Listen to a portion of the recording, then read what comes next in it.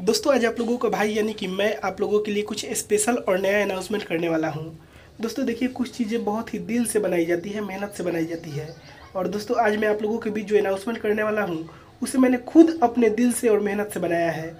बहुत आप लोगों से उम्मीद है कि आप लोग उस चीज़ को एक्सेप्ट करेंगे, बाकी आप लोगों के हाथ में है।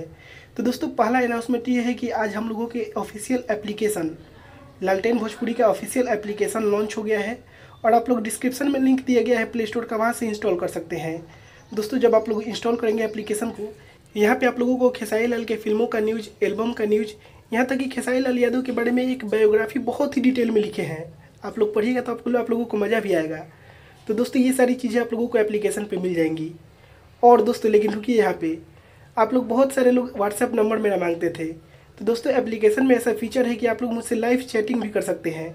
जी हाँ एक बार इंस्टॉल करिएगा। यहाँ पे आप लोग लाइव मैसेज भी कर सकते हैं, हमको, हम आप लोगों को रिप्लाई करेंगे। ये भी फीचर है एप्लीकेशन में। तो दोस्तों, आप लोगों को डिस्क्रिप्शन में लिंक मिल जाएगा। आप लोग लालटेन भोजपुरी का ऑफिशियल एप्लीकेशन इंस्टॉल कर लीजिए। दोस्तों, दूसरा अनाउंसमेंट हम लोगों का वेबसाइट भी नहीं था।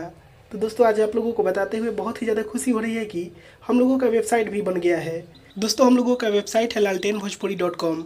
दोस्तों, यहाँ पर भी खेसारी लाल यादव से रिलेटेड ही न्यूज़ भी आप लोगों को मिलेगी। लालटेन भोजपुरी डॉट कॉम। याद कर लीजिए लालटेन भोजपुरी डॉट कॉम यहाँ पर अब हम लोगों का वेबसाइट हो गया तो यहाँ पर हम लोग जो भी न्यूज़ आएँगी, उसे हम लोग लिख भी सकते हैं।